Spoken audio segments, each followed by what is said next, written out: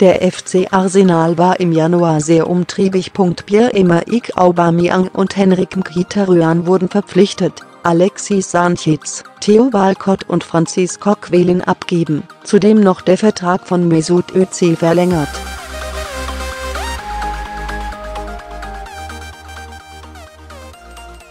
Weitere Personaländerungen wird es in dieser Saison nicht mehr geben, aber dafür wollen die Gunners rechtzeitig mit den Planungen für die neue Spielzeit beginnen.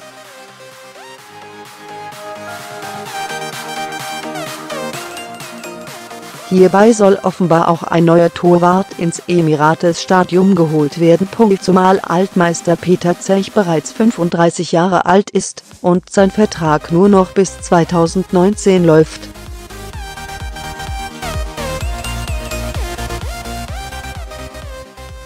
Als potenzieller Nachfolger für den Tschechen, der bei der jüngsten 1:3 Schlappe gegen Swansea City patzte, ist Jan Oblak von Atletico Madrid im Gespräch, wie der London Evening Standard Anführungszeichen berichtet.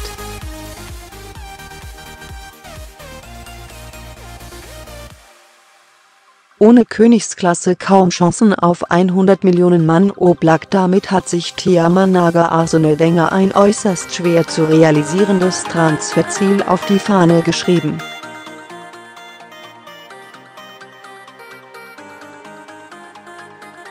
Zum einen steht Oblak bei zahlreichen anderen Topclubs wie Real Madrid, Paris St. Germain und Juventus Turin auf dem Zettel.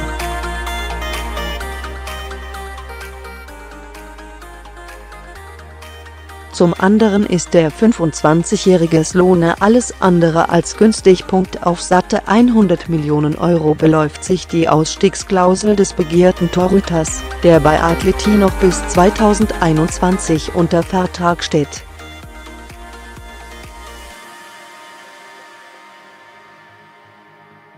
Auf diese Summe werden die Rui Blancos wohl auch bestehen, will man seine Nummer 1 doch unbedingt halten.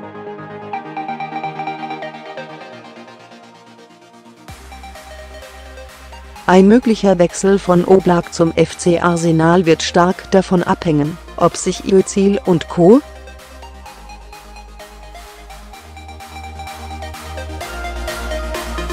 für die Königsklasse qualifizieren. Die Gunners sind derzeit nur Sechster in der Premier League und haben bereits 8 Punkte Rückstand auf die Top 4.